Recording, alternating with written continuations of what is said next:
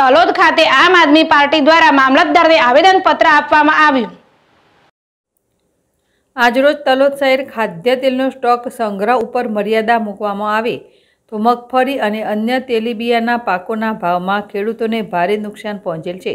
તેથી દરેક ખેડૂતોની સાથે રાખીને ખેડૂત સમર્થન અને મગફળી જેવા પાકોને સારા ભાવ મળી રહે તે માટે મામલતદાર કચેરીએ આમ આદમી પાર્ટી દ્વારા આવેદનપત્ર આપવામાં આવ્યું. ગૌરવ પટેલ, જેડેશ ટીવી, તલોદ.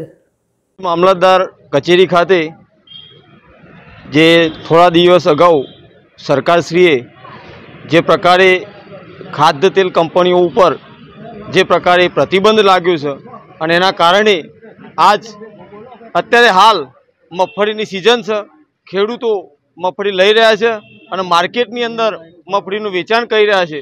એવા સમયે આ જે પ્રતિબંધ લાગવામાં આવ્યો છે જેના કારણે આ તહેવારની સિઝન છે, દરેકને ખેડૂતોને હાલ પેમેન્ટની જરૂર છે, પૈસાની જરૂર છે. એક બાજુ મોંઘવારી એટલી બધી વધી ગઈ છે પેટ્રોલ ડીઝલના ભાવ વધી ગયા છે. આવા સમયે આમને જે સ્ટોક લાગવામાં આવ્યો છે, એ સ્ટોકના કારણે આજ વેપારીઓ ખેડૂતોને બહુ ઓછા ભાવે અને સસ્તા ભાવે મગફળીઓની ખરીદી કરી રહ્યા છે, જેના કારણે ખેડૂતોને અને ખેડૂતોના પરિવારને બહુ મોટું નુકસાન થઈ રહ્યું છે.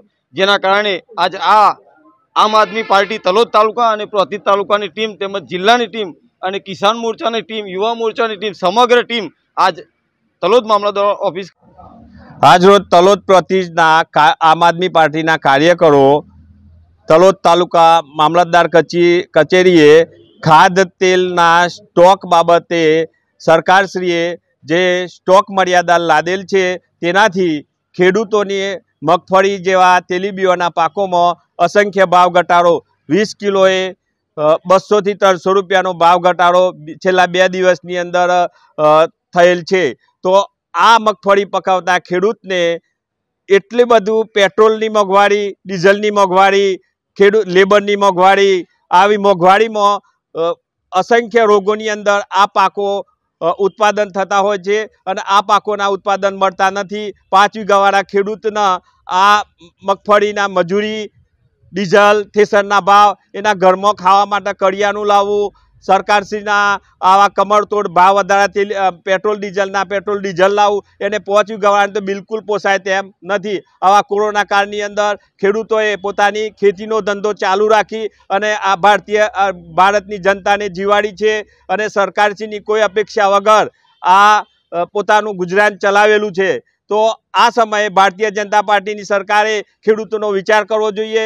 ખેડૂતોના જ્યારે જ્યારે ધાનના પાકો પેદા થાય છે, ત્યારે ત્યારે આવી સ્ટોક મર્યાદા જેવા બાબતો ઊભી કરી અને ખેડૂતોની કમર તોડવામાં આવે છે. ગયા વર્ષે જે સરકારે મગફળી ખરીદી, એમાંની પાંચ લાખ મેટ્રિક ટન સરકાર પાસે અત્યારે હાલ મગફળી પડી છે ગયા વર્ષની.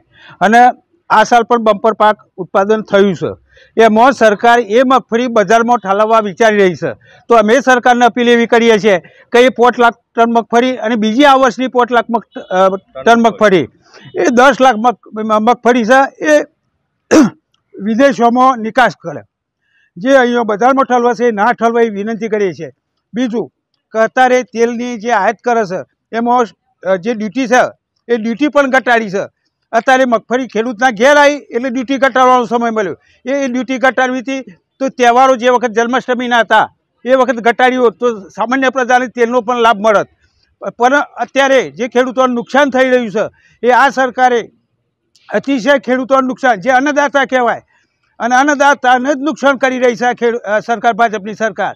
એટલે અમે એવું કહીએ છીએ કે ખેડૂતને ઉગ્ર આંદોલન ના કરવું પડે. ભૂતકાળમાં જેમ ઓગણીસો સિત્યામાં સિત્યાસીમાં.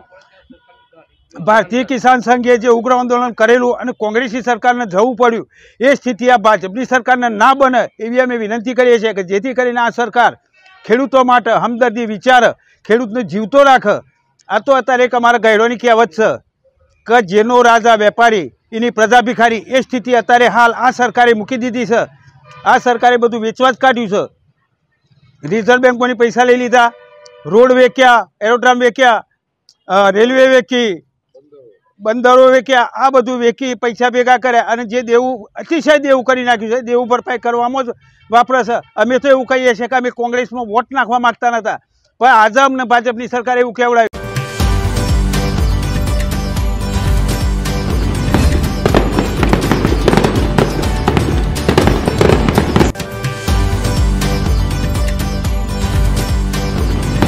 દિવાળીના પર્વની હાર્દિક શુભકામનાઓ. તેમજ નૂતન વર્ષે અભિનંદન. સાવન પટેલ આઈટી સેલ કારોબારી સભ્ય, તલોદ ભાજપા. ગામ વક્તાપુર, તાલુકો તલોદ, જિલ્લો સાબરકાંઠા.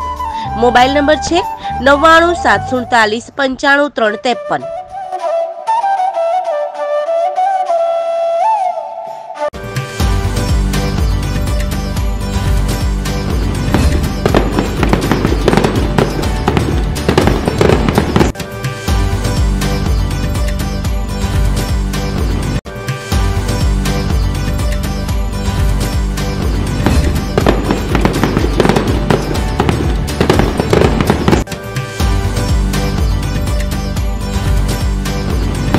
દિવાળીના પર્વની હાર્દિક શુભકામનાઓ તેમજ નૂતન વર્ષા અભિનંદન ભદ્રેશ પટેલ આઈટી સેલ કારોબારી સભ્ય, તલોદ ભાજપા. ગામ જવાનપુર તાલુકો, તલોદ જિલ્લો સાબરકાંઠા. મોબાઈલ નંબર છે ચોરાણું જીરો છ્યાસી એકાવન ત્રણ અઠ્યાવીસ